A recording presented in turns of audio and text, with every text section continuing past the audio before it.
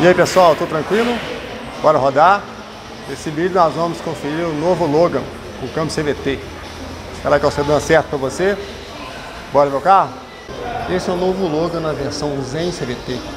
Mudou a grade do radiador, tem um filete cromato agora embaixo. Mudou também o para-choque, desenho totalmente novo. Os faróis agora tem o DRL, as assinaturas em formato C. Dentro dos faróis tem um cromado que vai até a grade do radiador também. Essa versão não tem farol de neblina. Ao longo da carroceria, os apliques em plástico continuam. Ele tem altura maior do solo. Ele vem com a roda de ferro 16 polegadas com calota. Não tem repetidor de seta no retrovisor. Os apliques continuam ao longo da carroceria. Os freios atrás são a tambor. E na traseira do Logan houveram poucas mudanças. As lanternas são as mesmas.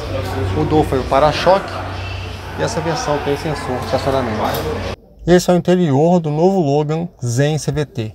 O volante não é revestido, mas tem uma pegada boa. Não tem comando sobre o volante, porque ele não tem piloto automático. Tem comando satélite para controle de mídia e de telefone, aqui atrás do volante. O painel no canto esquerdo é o conta-giros, no centro o velocímetro e na parte direita tem um painel digital com informações de computador de bordo, consumo, temperatura e outras informações. Ele vem com a mídia de 7 polegadas com Android Auto e Apple CarPlay. Detalhe para Black Piano em volta da mídia. Comandos físicos aqui. O ar-condicionado é analógico.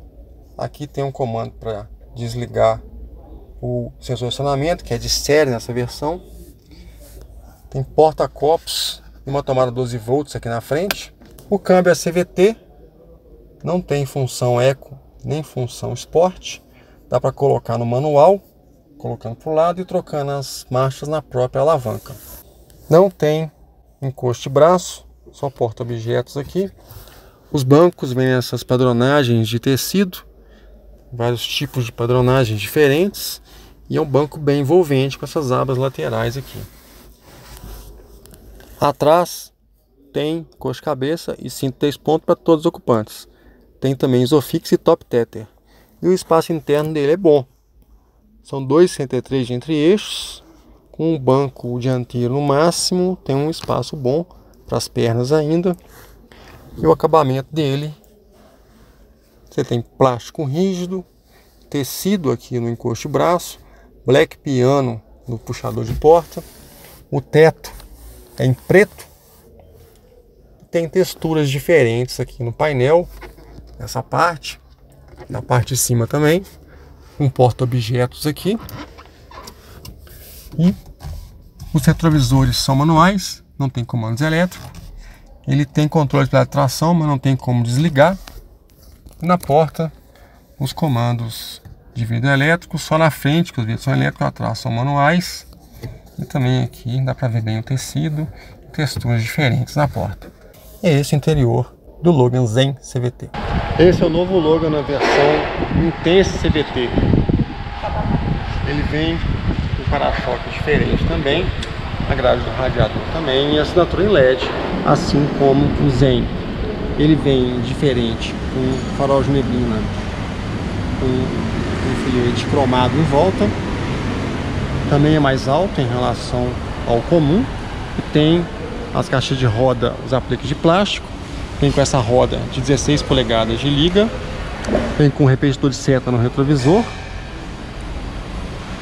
e a lateral é igual ao Zen os freios também são a tambor atrás na traseira também não há mudanças em relação à versão Zen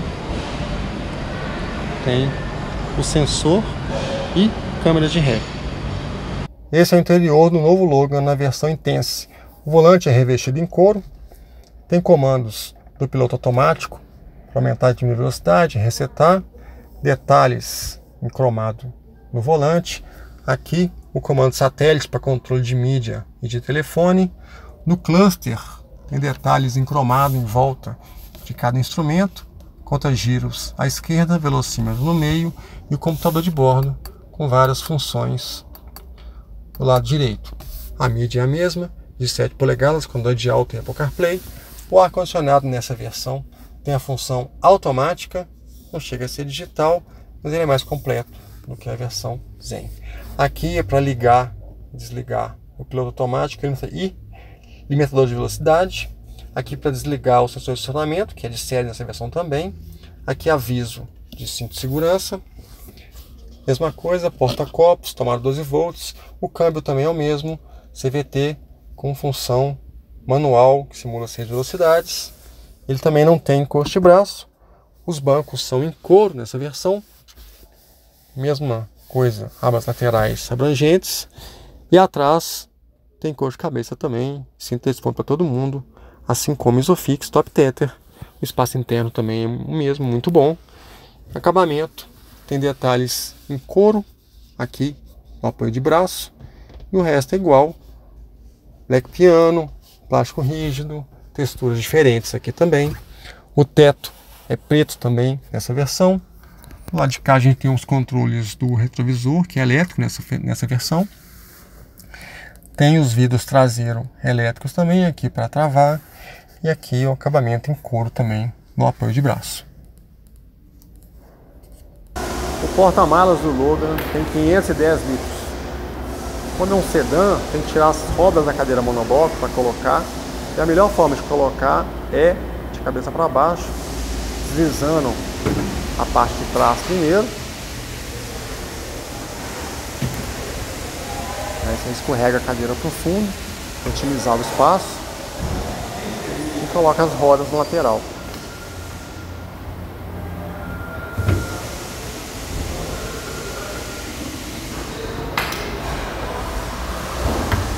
e ainda sobra um espaço razoável para colocar bagagem por cima da cadeira, por cima das rodas ali.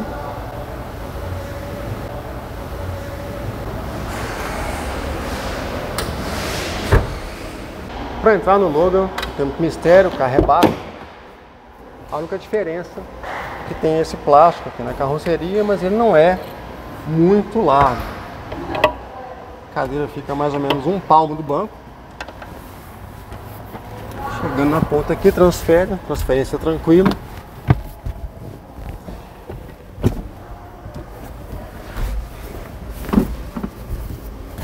E ele tem um bom espaço interno.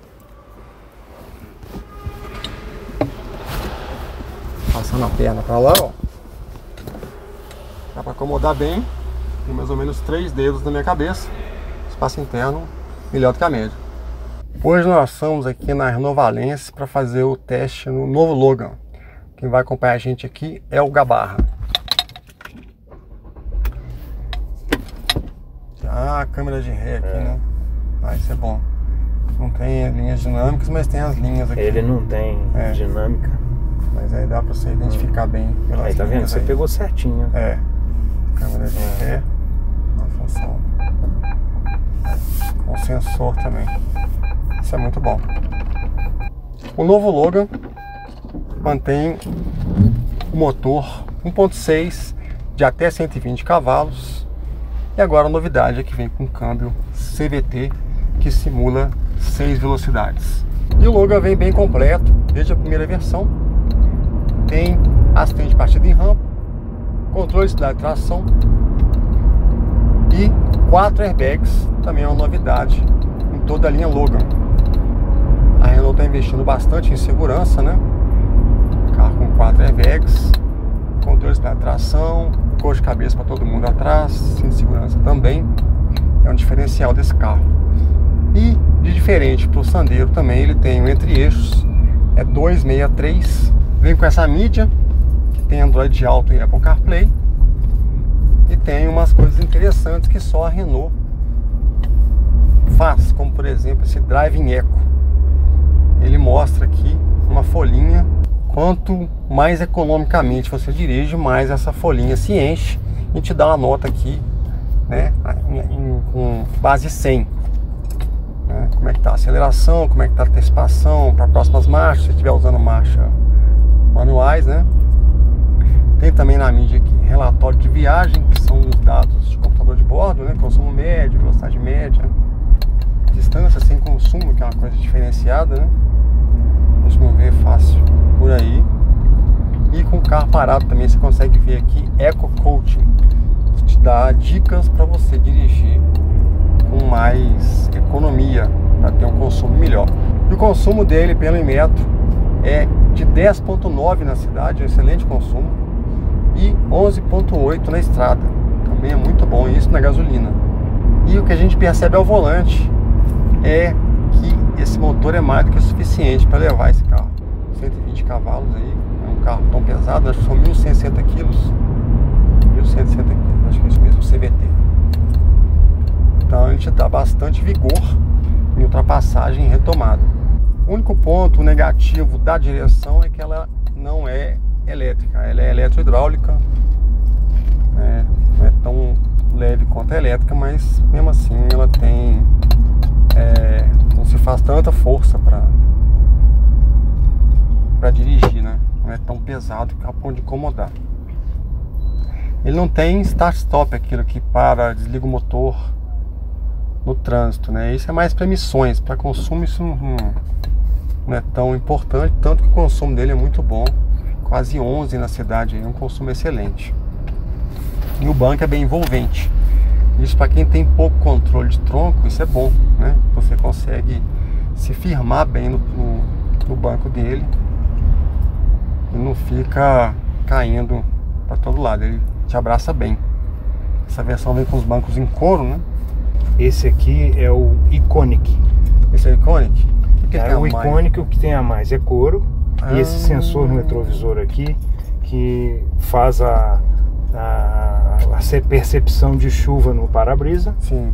E a Legal. luminosidade. É, sensor de, de crepuscular e, e, de chuva, né? Isso. Então a, a Intense não, não tem o couro total no banco, né? Couro parcial. Parcial. Mistura tecido com, com couro. É, tá certo. Onde você encosta e assenta é tecido. Uhum. É. Então essa aqui é icônica. A essa é icônica não entra no, não entra no PCD. PCD. Tá certo. É o seguinte, ele vem com um Media Nave Evolution. Sim. Esse Media Nave ele tem o um aparelhamento da, de Android, né? Como Sim. você já tinha repetido, e do iOS também. Perfeito. E ele tem ah, interligado aqui o ar condicionado automático digital. Ah. todas as funções que você é, poderia modificar no ar condicionado aparece no, na, mídia na mídia nave. E ah. com um grande é, detalhe, quando você desliga o mídia nave e desliga o carro, quando você liga, ele fica a, na memória com a informação ah, anterior que você mexeu. Então, Esse aqui é o grande vai negócio. Ser, é. Vai estar a mesma, a mesma posição, posição anterior que você anterior. colocou. O, a novidade que a gente fala no ar-condicionado é que Automático. ele tem a posição alto quando você aciona ela, o carro estiver estacionado num sol quente muito forte, está muito quente dentro do carro, quando você liga, a, a, a primeira desejo seu é elevar todas as funções do ar-condicionado para refrescar. Então você aperta a função alto, ele faz isso, ele eleva o, a velocidade do ventilador Sim. e o, o ar-condicionado no máximo para poder ah. refrescar o carro. Aí depois você regula para a posição que você quer. Entendi. É, então essa mídia tem essa função Driving Eco aí e configurações aqui também, né? Configurações aqui, do próprio aparelho. Do né? próprio aparelho, né? De é, tela. Sim, de tela. De conectividade uhum. Do smartphone, sistema, né? É. Do, celular. Isso. E do próprio sistema aqui. É, o controle de estabilidade de tração dele não tem como desligar, né? Ele tem o controle, mas não tem uma técnica. Não, não tem como desligar, não. É, é. é. Aqui é para destravar as portas e o, e, e o porta-malas, né? Isso. Entendi.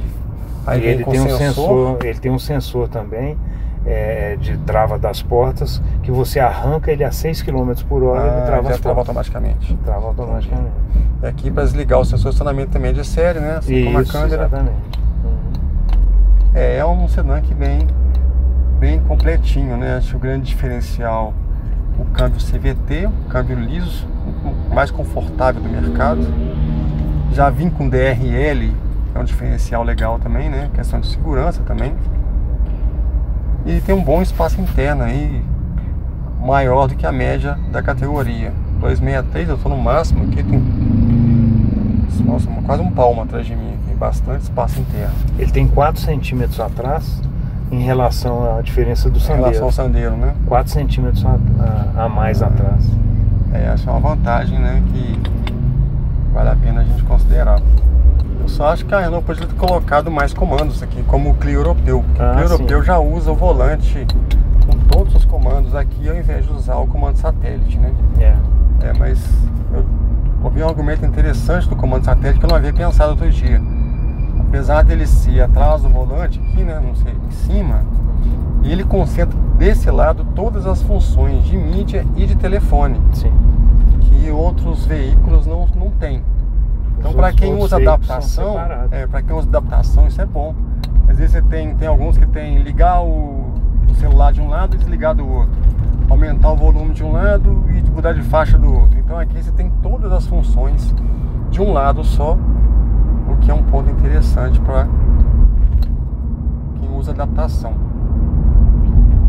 Apesar de eu não ser fã desse sistema, isso é um ponto positivo. Mas a Renault podia ter colocado os comandos aqui em cima, né? Futuramente deve colocar, né? Adotou esse volante do modelo europeu, um volante mais bonito, mais, mais moderno, ele é meio ovalado, né? Quase achatado aqui embaixo. Volante esportivo, uma pegada boa. A garantia dele são 3 anos, né, Gabar? Isso, 3 anos ou 100 mil quilômetros. Ou 100 mil quilômetros. E o, o valor médio aí de, de revisões? De revisões torno de 430 reais. 430 reais é um valor bom. Tem no site também, né? Sim. Pode conferir. analisar a variação no site, né? Ótimo. É o comando no volante que vai, que vai melhoraria a questão de ergonomia, porque esse botãozinho embaixo aqui, é. ele é mais difícil de acessar, né? Fica embaixo é. do ar condicionado. Esse botão é para o piloto automático. Sim. Então, necessariamente, para você programar o piloto automático, você vai estar sempre parado. Você pode ligar você pode programar, viagem, né? Ah. Você pode sair, programar, por exemplo, 100 km por hora e aí arranca e sai. É, no sentido de você deixar ele já ligado, se você quiser aumentar a velocidade, você aumenta lá no mais e menos é, lá. Aí você, é a hora que você tira a mão e da a hora que você tira, ele, ele e você formalizou. pode usar os botões lá de lá. É, usa a exposição dos botões nesse sentido. E ele grava na memória o que você apertou Sim, por último lá. Tá certo. É. é verdade. E tem o limitador de velocidade também, né? Sim. É para baixo. Isso, para baixo. contrário, para baixo você liga o automático e para cima o limitador de velocidade. Sim, sim. E aqui na, lá na, na nessa alavanca do limpador, limpador você comanda ali o, é, computador, o computador de, de, bordo, né? Com seis funções. É. Dá são os mesmos computadores de bordo aí. Aqui, né? É. Ali tem. Deve ser o quilometragem total, o odômetro Esse total. Esse aí é o odômetro, total, odômetro parcial. E aqui o parcial. O, é. é. o primeiro foi o total, agora o parcial. Parcial. Esse aí, ó, o média. desenho te mostra que do ponto de partida até onde o carro tá, tem tantos litros dentro do tanque. Ah, sim, isso é uma informação legal. É. Poucos carros têm isso. Esse aqui é o consumo instantâneo. Ah, beleza. É, o de bordo dele é bom, é completinho. E ele vem com chave canivete, que é uma novidade na Renault ah, também. Ah, interessante. Todos eles agora vêm com chave, com canivete, chave canivete, desde a linha de entrada, Bacana. desde o Logan de entrada. Isso é bom também. Eu gostei muito desse teto preto, que é para quem usa Exatamente. cadeira de rodas faz é novidade diferença. também. Porque na hora de guardar a cadeira, você não risca o teto. Sim. Meu teto, meu carro mesmo é todo ah, riscado sim. da cadeira. E com um teto preto é uma coisa menos para se sujar, né? É. Ficou mais aconchegante o interior, mais esportivo. É isso aí, pessoal. O Logan CVT veio aí para brigar com o mercado de frente com os grandes e é uma alternativa bem interessante para PCD. Obrigado, Gabar, pelas informações. De nada.